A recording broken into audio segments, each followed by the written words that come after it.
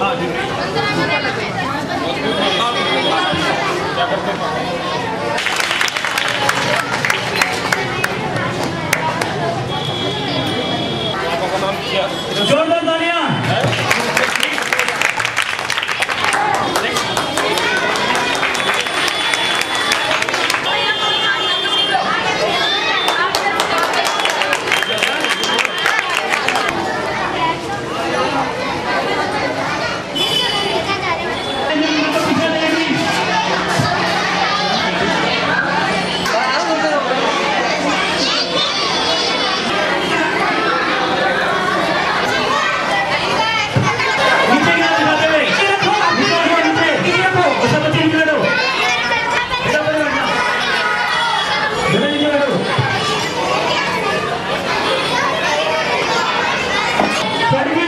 रोहित जी क्या कहना चाहेंगे? आज जो ये चित्रकला प्रतियोगिता आपने रखी है।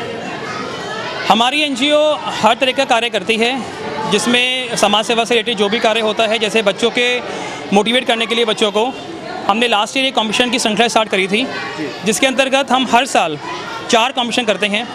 लास्ट ईयर भी हमने अक्टूबर के अंदर प्रथम रंग चित्रकला प्रतियोगिता करी थी ये उसका सेकंड पार्ट है।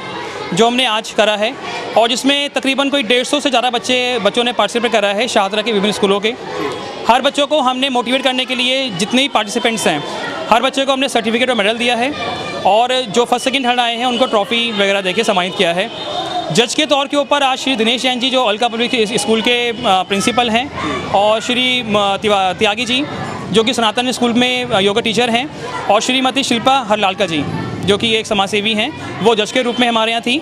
और जितेंद्र महाजन जी जो पूर्व विधायक रहे हैं दासनगर से, वो हमारे आज के चीफ गेस्ट रहे हैं, मुख्य अतिथि रहे हैं। और ये कॉम्पिटिशन हमने पूर्णतः बच्चों को मोटिवेट करने के लिए करते हैं। और जिसका हमें आज बहुत ही अच्छा रिस्पॉन्स मिला है, आप देख रहे होंगे। कि तकरीबन डेढ़ सौ से ऊपर बच्चों ने यहाँ पे पार्टिसिपेट करा है। जी टॉपिक क्या दिए चित्रकला के अंदर आपको? हम ये कॉम्पिटिशन तीन भागों में करते हैं। तीन उसमें हम डिवाइड कर देते हैं कैटेगरीज जिसमें एक रहते हैं दूसरी क्लास से लेकर पाँचवीं क्लास तक सेकंड क्लास से फिफ्थ क्लास तक जिसमें बनाना होता है बच्चों को दशहरे का चित्र। छठी क्लास से लेकर आठवीं क्लास तक भारत की किसी भी ऐतिहासिक इमारत का चित्र और नौवीं क्लास से लेकर दसवीं क्लास तक के लिए इनक्रेडिबल इंडिया यानी कि अविश्वसनीय भारत। इसके ऊपर ही बच्चे अपनी इमेजिनेशन से अपनी क्रिएटिविटी से हैंड टू हैंड कुछ बना के देंगे हमें और हम उसको हैंड टू हैंड जज करके जजों के माध्यम से उनको प्राइज़ देते हैं। रोहित जी पार्ट वन आपने कर चुके हैं पार्ट टू हाँ जी। किया है। इन दोनों में फ़र्क क्या देखने को मिला? इस बार आप ये मान लीजिए कि पार्ट वन और पार्ट टू में बिल्कुल डबल का फ़र्क है। पिछली बार जो हमारे पास गैदरिंग रही थी वो तकरीबन सत्तर अस्सी के आसपास रही थी और आज ऑलमोस्ट से डबल आई है। बच्चों का जोश देख के मतलब हम भी खुद ही आप बिलीव नहीं करेंगे कि आ, हमने बच्चों को टाइम दिया था आने का साढ़े नौ बजे का मॉर्निंग में। और बच्चे यहाँ पे सुबह साढ़े आठ बजे आके खड़े हो गए थे। एक घंटा पहले बच्चे यहाँ पे आ गए थे।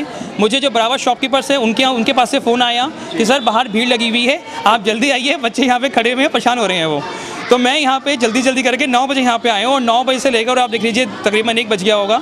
और अभी तक हम मतलब बच्चों का इतना उत्साह है कि हम खुद ही थकावट महसूस नहीं कर रहे हैं आज।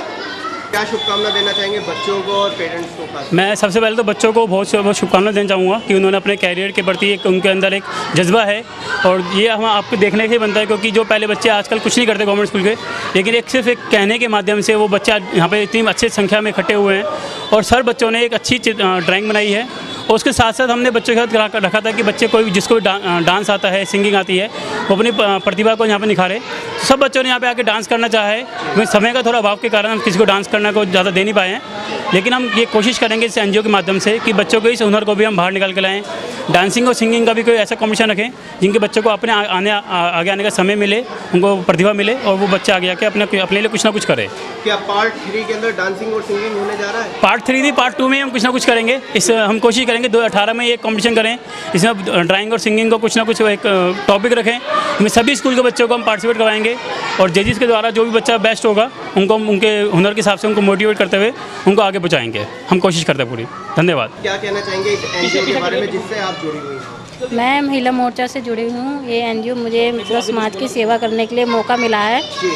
मैं चाहती हूँ कि जितना मेरे से हो सकता है मैं सेवा करूँ और एक्चुअली ये है कि बच्चों का स्वभाव देख के मुझे बहुत खुशी हुई कि भाई आज की जनरेशन में इतना स्वभाव है कि भाई आगे बच्चे आ रहे हैं अपना दिखा रहे हैं हुनर। यही सबसे बड़ी हमारे देश की प्रथा है कि भाई हमारे देश में बच्चों का शोभन इतना बढ़िया है। ठीक है काम सही कर काम कर रही है एनजीओ? बढ़िया काम करिए फ़िलहाल तो फ़र्स्ट टाइम जुड़ी हूँ और यहाँ काम करके मुझे बहुत अच्छा लगा और मुझे बहुत सीखने को मिला है इस एन के साथ। और मैं बहुत अच्छी चीज़ें सीख रही हूँ यहाँ से। मेरा नाम पूजा गर्ग है। और मुझे इस एनजीओ से जुड़ करके महिंद वेलफेयर फाउंडेशन से जुड़ करके बहुत ही ज़्यादा खुशी मिलती है, क्योंकि यहाँ पे बहुत अच्छे अच्छे कार्य किए जाते हैं। बच्चों के संबंधित और पर्यावरण से संबंधित और हम लोग जो एक फुल्का योजना जो इन्होंने निकाली हुई है, वो सबसे अच्छी ही मतलब बहुत बेहतरीन योजना है, जिससे कि द्वारा हम लोग काफ़ी लोगों के मतलब जिन, जो मतलब सही में सही तरीके से मायने में जो जिनको ज़रूरत है उन तक तो हम अप, उन तक हम अपनी उनकी ज़रूरतें हम लोग पूरी कर सकते हैं उन लोगों को हम उनकी सुविधाएँ पहुंचाते हैं।